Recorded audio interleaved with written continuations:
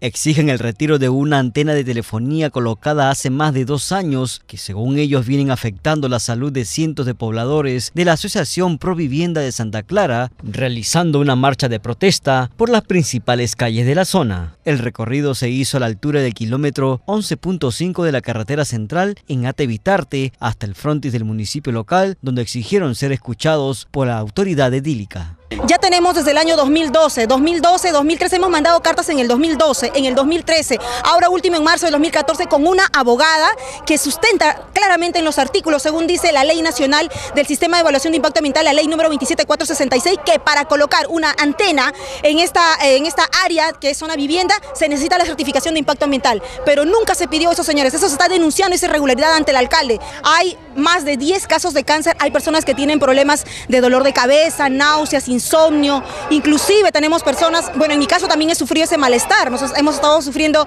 una serie de alteraciones, digamos, en el, en el tema de las contracciones musculares que también tiene que ver con el efecto de estas antenas. La dirigente espera que las autoridades y la empresa retire pronto la antena de la zona colocada sobre una vivienda en la calle Francisco Bolognesil.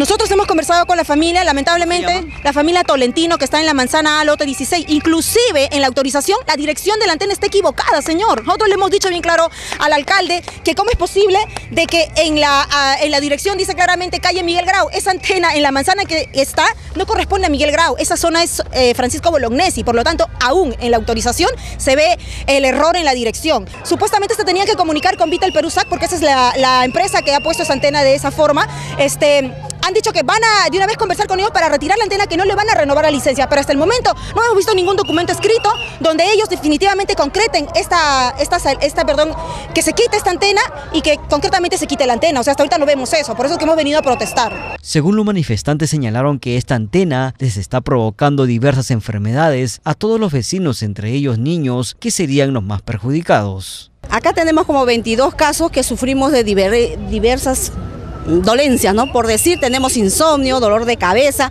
He hecho mi encuesta en, la asociación donde yo vivo. Hay chicas de 20 para arriba con dolor de cabeza. Entonces, es, es grande la multitud y es por la radiación que bota esta, esta antena. Bueno, yo he tenido cáncer de mama.